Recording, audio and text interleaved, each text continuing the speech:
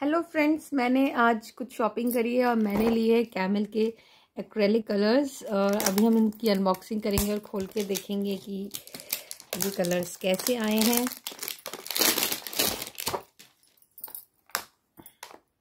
मैंने दस शेड लिए हैं इसमें, जिसमें एक वाइट कलर है और एक है हमारे पास लेमन येलो एक है हमारे पास लाइट पीच कलर एक है हमारे पास ऑरेंज कलर और है हमारे पास क्रिम्सन कलर, और एक हमारा लाइट वॉयलेट कलर, और एक सैप ग्रीन कलर हो गया हमारा, और एक हमारा अल्ट्रा मेरिन ब्लू कलर हो गया है, और एक है इसमें हमारा बर्न साइना कलर, और एक ये हमारा लास्ट है ब्लैक कलर, जो सभी को बहुत पसंद आता है।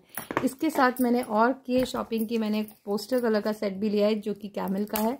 इसको भी हम आज ओपन करेंगे। इसकी भी मैं अनबॉक्सिंग करने वाली हूँ। इसमें मैंने सिक्स कलर का सेट लिया है जिसमें एक ब्लैक कलर है एक ग्रीन कलर है और एक है हमारे पास येलो कलर एक रेड कलर एक वाइट और एक ब्लू कलर लिए हैं। और साथ ही मैंने कुछ पेंट ब्रश लिए देखिए इसमें आ, मैंने एक राउंड शेप का पेंट का ब्रश का सेट लिया है और एक मैंने फ्लैट ब्रश सेट लिए आप मुझे बताइए कि आपको ये सब कैसा लगा और आपको पेंटिंग करना अच्छा लगता है। मैं जल्द ही कोई वीडियो अपलोड करूँगी जिसमें मैं आपको अपना पेंटिंग से रिलेटेड पोस्ट करूँगी। Bye bye